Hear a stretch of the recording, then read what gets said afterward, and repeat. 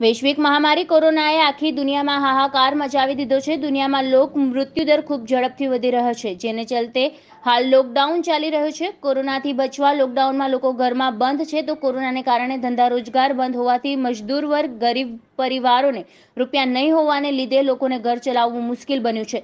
જેથી આવા પરિવારોની હાલત કફોડી બની ગઈ છે. ત્યાં શહેરની સેવાભાવી સંસ્થાઓ તેમજ પોલીસ અને પાલિકા તંત્ર દ્વારા જરૂરમંદ લોકોને ભોજન પહોંચાડી રહી છે.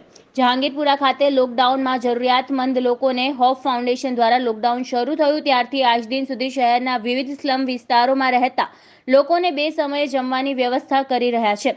ખાસ વાત તો એ છે કે સોશિયલ ડિસ્ટન્સ રાખવા માટે રસ્તાઓ પર ફૂડ પેકેટ આપવાને બદલે લોકોના ઘરે જઈ બે ટાઈમનું ભોજન પૂરું પાડી રહ્યા છે. સાથે પાંચ હજાર જરૂરિયાતમંદ પરિવારોને અનાજની કીટ આપવામાં આવી હતી. કીટમાં ચોખા તેલ દાળ લોટ નમક સહિતની સામગ્રી આપી છે. સંસ્થાના જિજ્ઞેશ ગાંધી અને તેમની ટીમ લોકડાઉનમાં ખડેપગે સેવા આપી રહ્યા છે.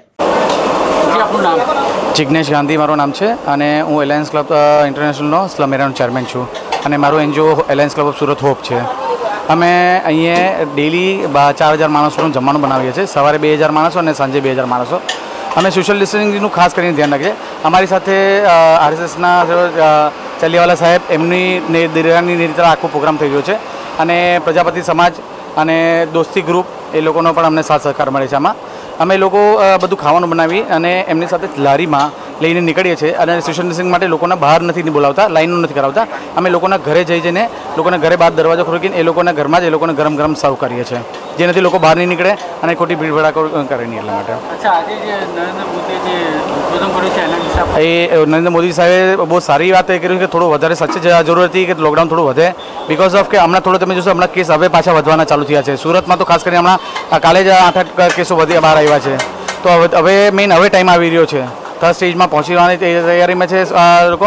એટલે અત્યારે જેટલું આ વધારે જેટલું ઓર ડિસિઝન રાખશે એટલું સારું છે અને આ લોકડાઉન મોદીજીનું આના માટે સાચે હું હેડસઅપ કરું છું કે મોદીજીએ બહુ સારો નિર્ણય લીધો છે. અચ્છા તમારી ક્યાં સુધી સેવા ચાલુ રહેશે? અમારી આ સેવા ત્રણ તારીખ સુધી ત્રણ મે સુધી ચાલુ રહેશે અને એ વચ્ચે અગર અ, મોદીજી સાહેબ વીસ તારીખે અગર કંઈ બીજું કોઈ એનાઉન્સમેન્ટ આપે છે તો ત્યાં સુધી અમે તો કન્ટિન્યુ જ રહેવાના છે. અમારા પ્રોગ્રામ નીકળે હશે.